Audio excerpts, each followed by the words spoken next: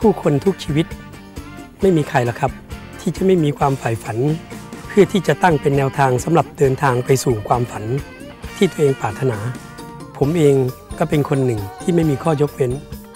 ชีวิตผมตั้งแต่ยาววัย ผมใฝ่ฝัน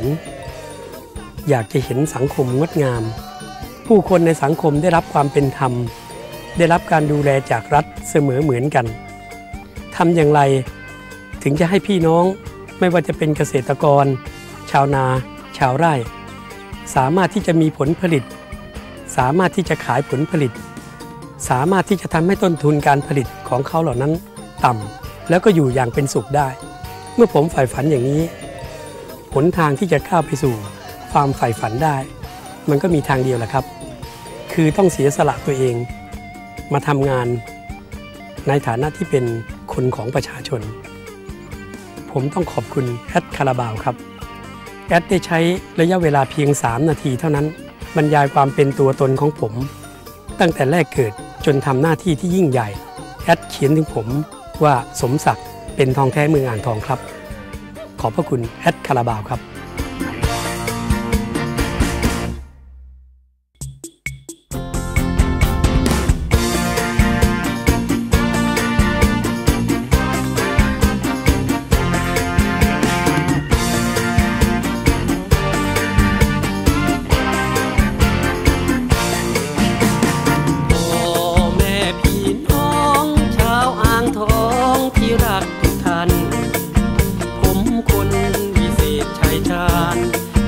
สมศักดิ์กฤษณานันทกุล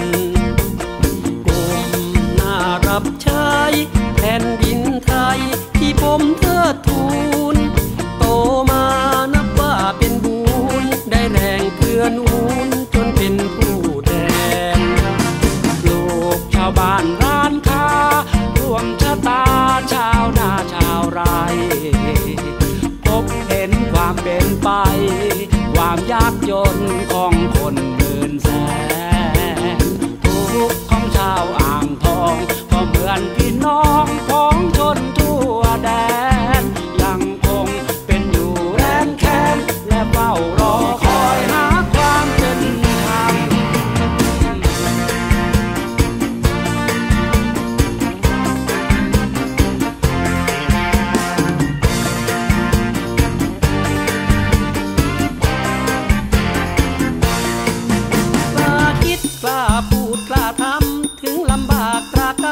ก็ไม่เคย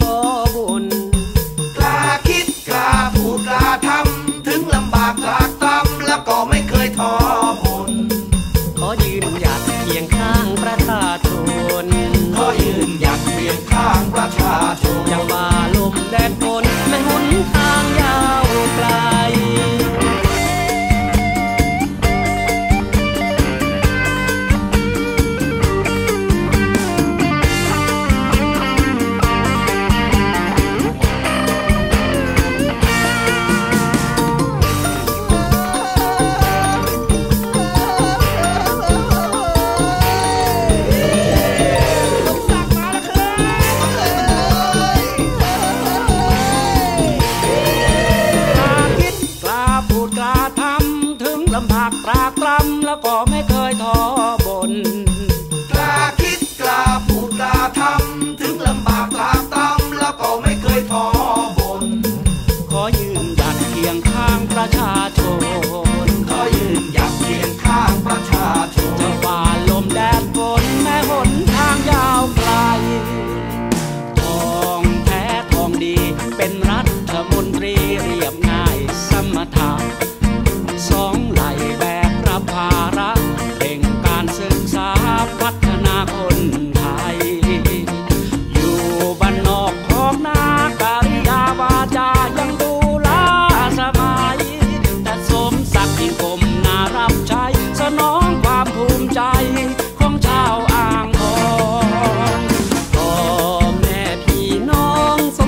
คือทองแท้เมืองอ่างทอ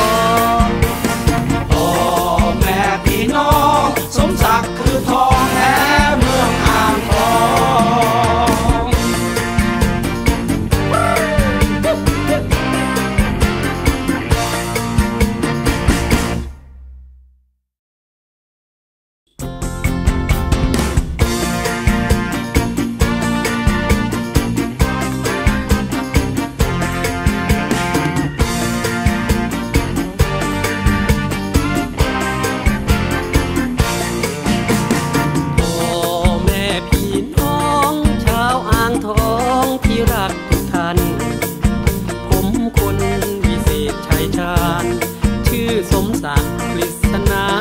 กุลก้มหน้ารับใช้แผ่นดินไทยที่ผมเทิดทูน โตมานับว่าเป็นบุญได้แรงเพื่อนูนจนเป็นผู้แดงโลกชาวบ้านร้านค้าร่วมชะตาชาวนาชาวไรพบเห็นความเป็นไป ความยากจนของ